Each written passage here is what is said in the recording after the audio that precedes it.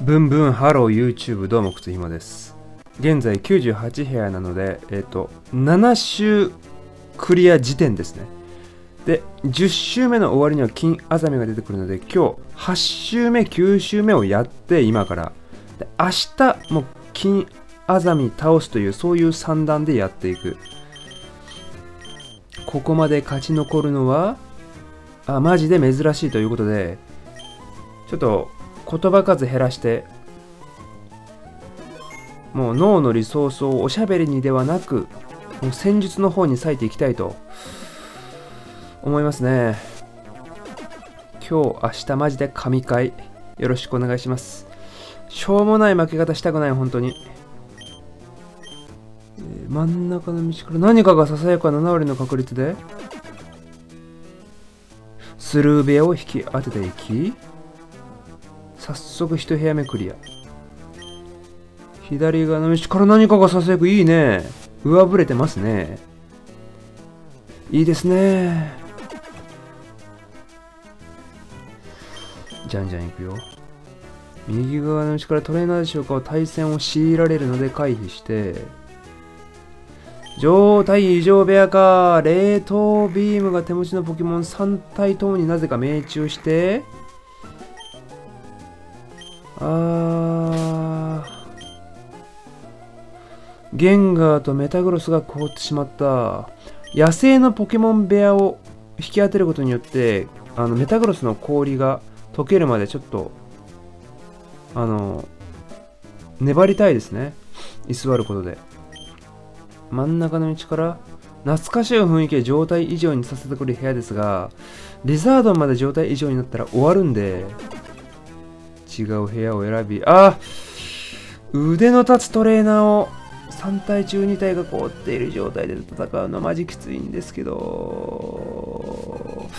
しかもゲンがこれ一旦目動けないんですよね。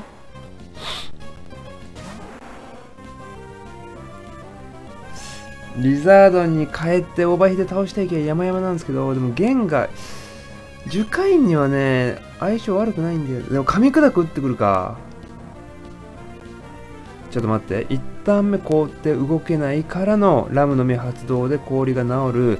で噛み砕かれてイエローゾーン入って冷凍パンチで一撃で倒せなかったら元も子もないか。自信覚えてる可能性があるからメタグロスには変えない。ここでリザードンに変えてまず相手が噛み砕くを覚えているかをチェックする。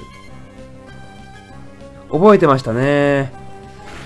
さああ結構効くししかも特防下がるし最悪。うわー白いハーブをこんなところで使わされてしまった。リザードン臆病最速ですが樹海の上を取れるか？オーバーヒート。いいね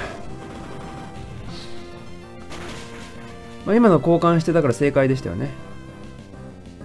うん、冷凍パンチや樹海一撃で倒せないので、となるとダメージレースでゲンガーでは勝てませんでしたから。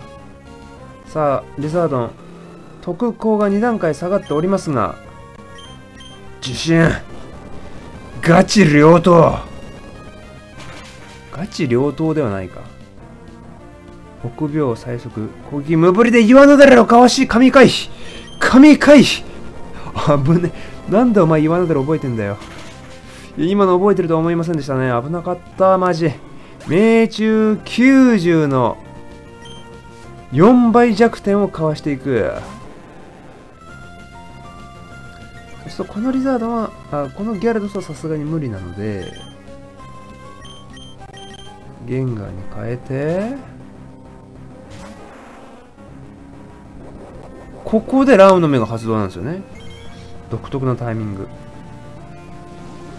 竜の舞を積まれたがおそらく弦が上は取られていません。上から10守るとはい対戦はレードンした。あー。あの岩なだれ当たってたらマジやばかった、うん、そうでもねえか。次のターンにゲンガーで10守ると打っもしギリギリ耐えられた相手の特性モーカが発動してたらやばかったって感じかまあ、ともあれ、腕の立つトレーナー戦を終わった後に回復させてもらえるご褒美があるので、メタグロスの氷も溶けましたね。ゲンガーとリザードの持ち物すでに使ってしまっているのマジ注意。右側の道からトレーナー賞が人の気配がすれば回避して、うわ、またお前かよ。しつけって。え、っと、その週における後半になればなるほど凍るポケモンの数が増えます。さっき2体凍ったじゃないですか。これ下手すりゃこれ3体とも凍ってんじゃないのか。おわしかもゲンがラムの実消費しちゃってるし、あとの2体もこれどうすんだこれ。野生のポケモン部屋を引き当ててそこで居座ることによって氷が溶けるまでごねたいところですが11部屋目。やばいよ。真ん中の後からポケモンの匂いが漂うところいいね。70%の確率で。あうわー引っ掛けか。これ70%の確率で野生のポケモンが出てくる部屋。からサマよりミロコロス、ハブネークが出てくる部屋で、あそこでだから、ね、氷が溶けるまでごねてやろうと思ったんですけども、30%の確率の腕の立つトレーナー線を引き、引き当ててしまっ、引き当てるっていうか、引き外してしまった。3体とも凍っているが、果たしてなすすべはあるのか？これ相手のタイプ1噛み砕くもしくはシャドーボールで弦が一撃でやられちゃうんでまずリザードンで受ける。ワンチャン炎技飛んできたら解けるかもしれないしね氷がね。あオーバーヒートをかわした。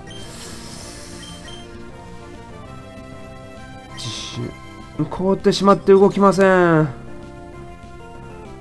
ーん炎技打ってくれませんね。噛み砕くタイプ1ですからね。この威力ですよ。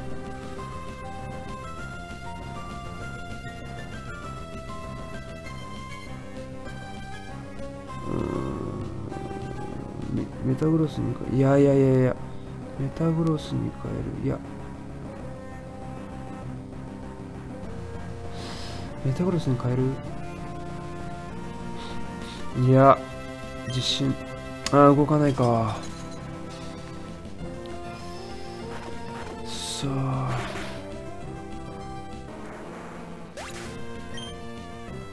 えー、っと、ゲンガーを出したところで、噛み砕くで一撃でやられておしまいだから、勝ち筋があるとしたら、メタグロスの氷が一旦目で溶けて、こらえるカムラ発動で、相手を総なめするぐらいしかないか。氷溶けろよ。こらえる。あ、動かない。おばひかわせ。あ、かわしたかわした。神回避。まだ大丈夫。まだ大丈夫。これやる。あー、動かねえ。かわせダメだー。あ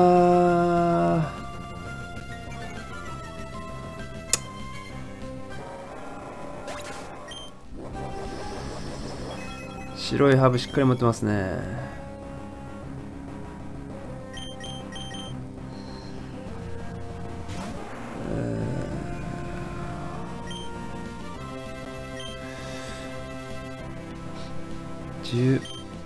万9章。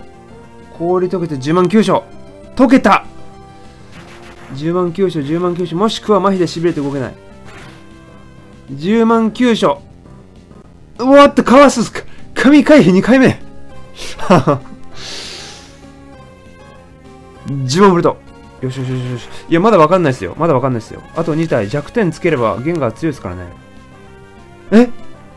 うわー、1ターン目でイエローゾーン入ってから2ターン目で倒せると思った。ダメあー、ちょっといけると思ったなあと2体何だったんだろう。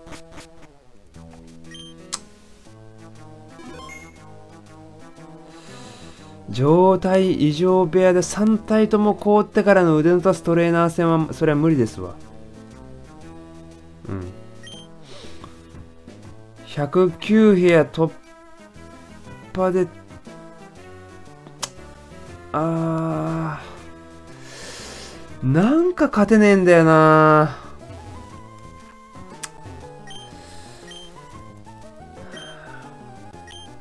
とりあえずあの1周目もしまたは2周目までやるわ。ちょっと後味悪いから。いや今のは不可抗力ですよね。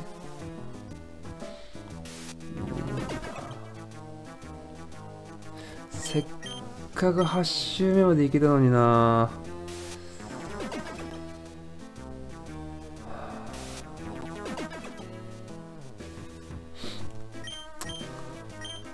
3体とも氷はクソ仕様だと思うわあれ。うん。なんで冷凍ビームが手持ちのポケモン3体ともに当たってしかもダメージが入らずに全員凍るんだって意味はわかんない本当に。うん。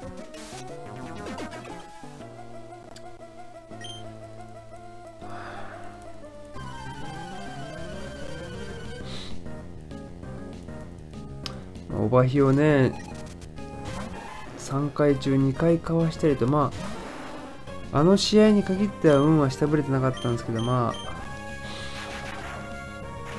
うーんあのヘルガーが2発目の10万ボルト倒せてたらワンチャンあったかなって感じだよな。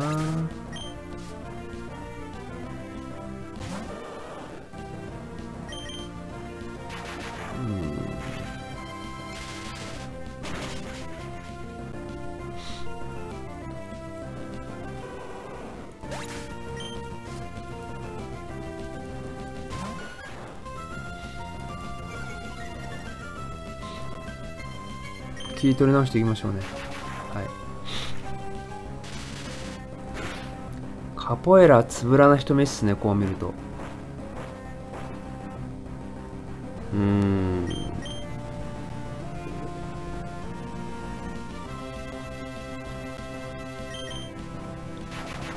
カポエラ2発で倒せないとまた穴を俺使ってくるんでしょめんどくさいって。しかもゲンガーの特性浮遊知らないのさすがににわかすぎる。うーん。カポエラーのカポエラーじゃねえわ。このゲンガーのこの髪型さプライベートの時の俺の髪型に似てるんですよね。多分俺のリアルの知人様は今あ確かに確かにと思ってくださってると思うんですよ。けど俺結構こんな感じの髪型なんですよ。意識してるわけじゃないですけど。ゲンガお前ちょっと髪型が俺に似てるな。よくなんか飼い犬って飼い主に似る似るって言うじゃないですか。手持ちのポケモンも俺に似てるかもしんない。リザードンかっけえし俺に似て。何かがささやく。はい。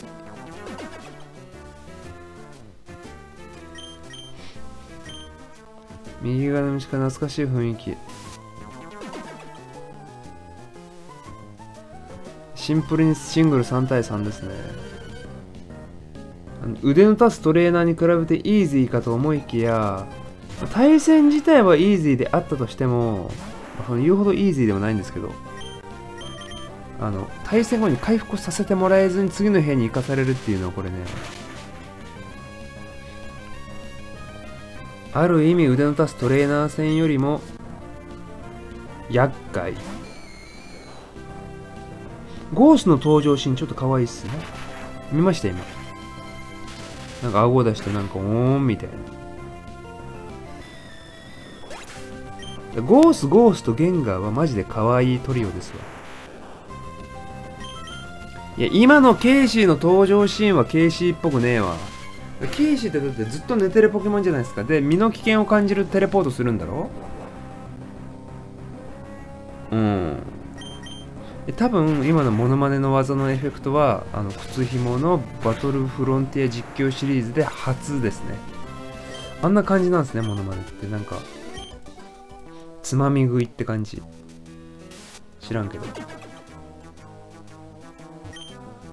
11部屋目。右側の道からトレーナーでしょうかを回避あと本日初の野生のポケモン部屋。さっき野生のポケモン部屋を期待して入ったら腕の立つトレーナーが待ち伏せしておりました。あそこでしっかり7割の確率の野生のポケモン部屋を引き当てていればおそらく8周目じゃなかった9周目に駒を進められていたことでしょう。マジ運ゲーっすね。うん。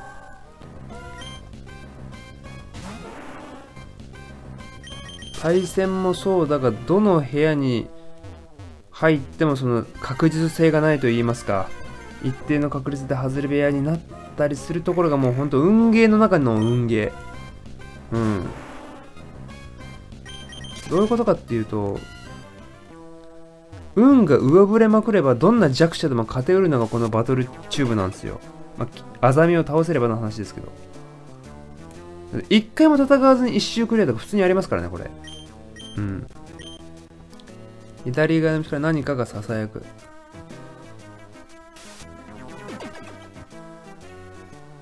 スルーペアオッケー。これクリアでしょ。はい。もうちょっとやるかせっかくだからな。もう一周やります。それにしても今日も暑いな。収録時点10月の下旬なんですけども未だにすごく暑い。なんかねたまにあのリアルの知人様にも聞かれるんですけどもまあコメントとかでも来るんですけどもあの皆様が今ご覧になってるこの動画今日撮ったわけじゃないんですよ。その日に撮ってその日に投稿とかやってるとまあ私もたまにはその帰りが遅い日もありますしまあその疲れててその収録どころじゃないっていう日も、まあ、たまにはありますしね。うん。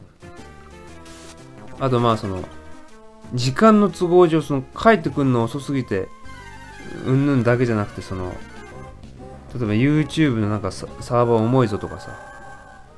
俺のそのネット回線の調子が良くないとかで投稿できない日があったりするとその毎日投稿の記録がちょっと途絶えちゃうんでこれはもう何日か前に撮った動画です。はい、はい、でそれを動画をもう編集して要するにストックしておいてで何日後かに投稿すると、うん、だからコメントとかでなんかこここういう立ち回りできるようになれよみたいに言われてもそれを実際に動画の中で改善できるようになるのは何日後かっていうそういうラグタイムラグがあるってことですよ。うん。そう。だから動画の中でさあのポケモンなんとか何周年おめでとうとか言ってても多分動画投稿される頃にはいやお前それ1週間前だぞみたいな。そういうことありますがちょっとそれはご了承ください。俺毎日投稿続けるっていうのはね簡単なことじゃないんで。はい。私もう2020年3月の24日から4年7ヶ月毎日投稿してますからね。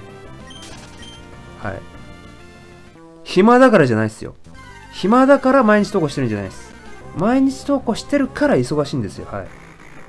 言われるんですよ。なんか暇人オツみたいな。な結構前なんですけどそれコメントできて。毎日投稿してるやつとかお前暇かよみたいに来たんですけど違うんですよ。忙しいから毎日投稿してるんですよ。間違えた。毎日投稿してるから忙しいんですよ。うん。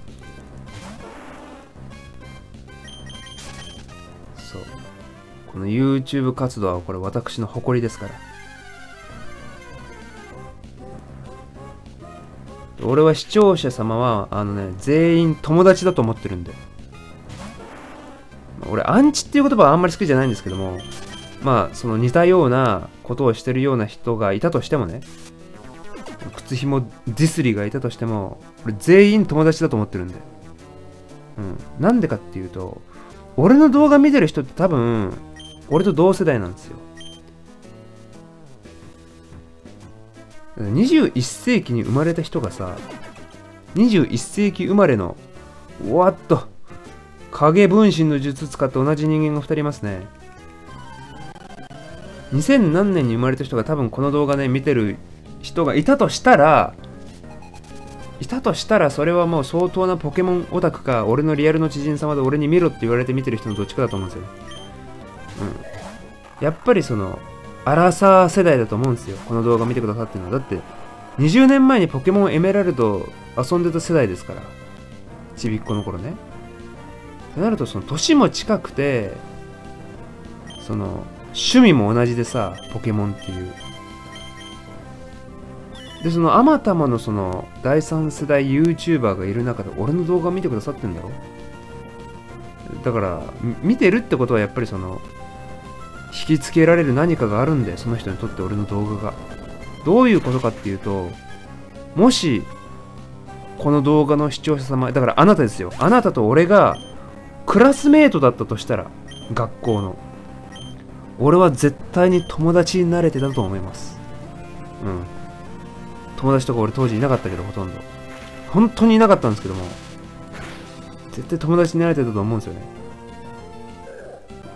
だから多少そのまああれから20年が経ってこの YouTube というプレイスで出会ってね、まあ、多少その歯車が噛み合わなくてその靴紐デスリみたいな人ことをしてる人がいたとしても俺はなんだかんだ言ってその人とは友達になれてたと思うんで左側の道から何かささやくあんたが嫌がろうと俺はあんたの友達だ。よろしく。はい。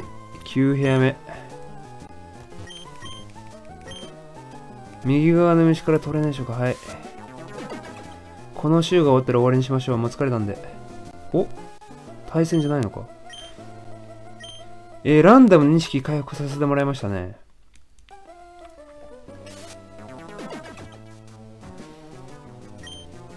11部屋目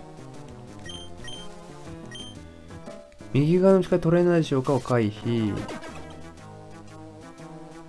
腕の立つトレーナー。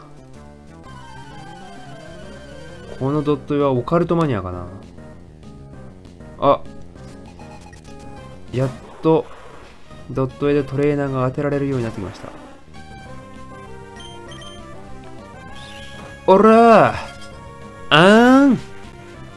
いいですね。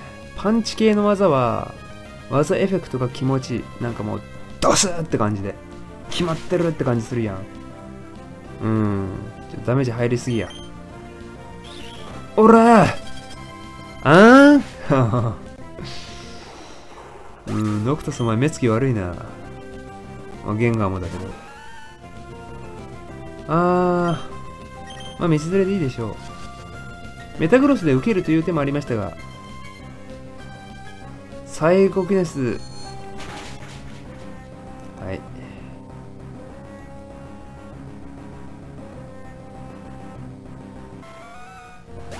さあ相手ラスト1体ですね。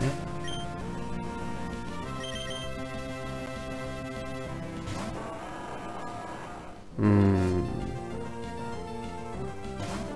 パラセクト。爆発でいきましょう。はい。対戦ありがとうございましたパラセクトのキャラで出す子。う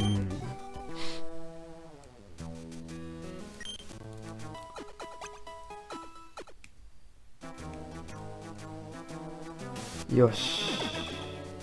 次がラストチョイスですよね。右側の後からポケモンの匂いが漂ってくる。うーんめんどくせえんだよな。違う部屋行ってみる？あのジグザグするのがだるくて。あ完全ランドムスルベを引き当てていく。はいというわけで。あー。まあ、8周目で敗れた時は非常に悩ましたけれども、まあ、その後2周クリアできたからまあ機嫌はそこそこ治りました。では明日3週目からご視聴ありがとうございました。